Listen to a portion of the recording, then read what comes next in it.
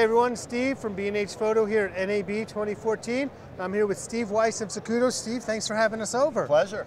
We're going to talk about the new EVF from Zacuto. It's been a year in development. Yeah, I mean, you know, this is a ground up device here, man. It takes a long time. I mean, we worked with the company uh, to develop the new OLED technology. This, this panel that's in here is of our design pretty much. It's, it's 1024 by 1280. So the idea was is that we wanted to have a 720p EVF, which is pretty much the max resolution you can put in there. We, we experimented with actually making a full 1080p EVF, but we noticed that your eye really can't resolve the difference, you know, and it adds a couple thousand dollars. So what's the, the point what's of doing point? that? Right, exactly. We've no maxed out because this will accept uh, 4K uh, through the SDI and through the HDMI it down converts it to 720 because your eye again can't resolve 4K. So I can see 4K, but it's 720p, but it can take a 4K signal, which is great. And it's got what I need in a viewfinder, optical diopter adjustment. Real good optical. We talked about this, five engineering firms we used, an optical engineering firm, software engineering firm, mechanical engineering firm, panel engineering firm, and the entire firmware and all of the uh, the components company that developed the components. So, I mean, this is a pretty a pretty intense project for us. I, I bet, and because it's HDMI and SDI in, so it pretty much camera neutral, go on pretty much any camera you can and it cross of. converts between. Really? Yeah. So if you put the HDMI in, you can go out HDMI and SDI. That's right. So you can just loop through and you're right into your whole transmission stream. Yeah, and here's an even cooler feature. So like when you look through here, you can set up a LUT, which if people don't know, it's a lookup table. So if you're recording raw to the camera, you know how pasty it looks yes. and you really can't focus. So you can create your own uh, color uh, lookup table in here so it looks like a perfect image like you want it to look.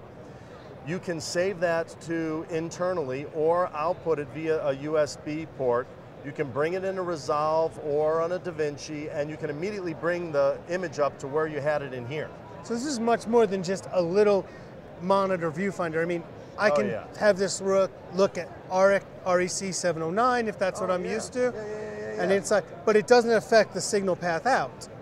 No, no, no, no. And and then not only can you do that in the EVF, the loop out has a whole separate stream. So what you can do is I could be looking at raw in here, but the clients in the tent could say they want to have their own lookup table. Right. They can turn on and off all the features they want separately from here. So if they want to look at a histogram and I want to look at a waveform, you can set it up to do that. This this is an amazing sounding piece of technology. Last point. Oh, we got more. We're not done. and there's more. No, and here, you know, when you're using these kinds of cameras, the larger cameras, that and you they, you know, how when you push the there's metadata that you get to the screen that doesn't come out the SDI. Things like the punch-in button to you know digital pixel to pixel zoom. We are going to have custom cables for all the cameras that will go into the Gratical and give you the same info you get that you get with the camera. Now you said Gratical, that's the name. Yeah, we the name has had to be changed because the Oculus was taken by whoever bought that, you know. But we've got Gratical, but there are two versions of the Gratical now. There's the HD. This unit's about three thousand uh, dollars, and then the LT version, which is about half the price. It's still amazingly sharp. Well, because it's OLED-based technology, and if people don't understand what OLED is, is when when you have LED, the whole damn screen is backlit. When you have OLED, this has 5.5 million bulbs in here. And they're right. The, each pixel is providing its own light. And, That's and the OLED. theory, this has 5.5 million dots, but each dot has four different colors to it.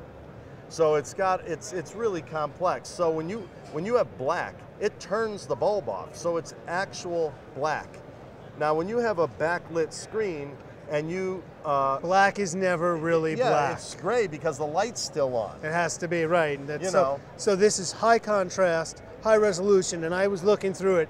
I don't see drag. I don't see Oh, delay no, no, no, in It has a dual core processor. You're not getting any lag in this at all.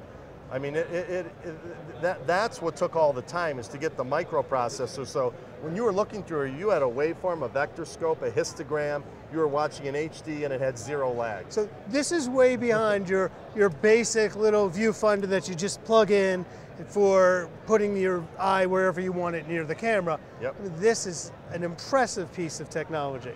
If you look here, oh, I'm mm-hmm. sorry. That's all right. It has an ARRI rosette so that you can get it with our, our with our access very far forward, as you can see here. But on our new VCT plate, where you have a six-pound lens and a six and a five-pound camera, uh, we, we've actually slid the camera back so that if you look at where your shoulder goes, this is pretty much how cameras need to be now since there's no recorder back here. Right. And by doing that, you need to get the ZVF very far All the way forward, right. That's why we like using our axis here and going on the side so that when you when you want to tilt it, it tilts at the nodal point and not, you know, it doesn't do this. Right. So it's very, and it works. And this is for a shoulder cutout. Yeah, this is great. I don't know how wide we are, but so like when you pop this off, the nice part about it is you go right to your shoulder and you don't have to screw around with putting on a shoulder pad.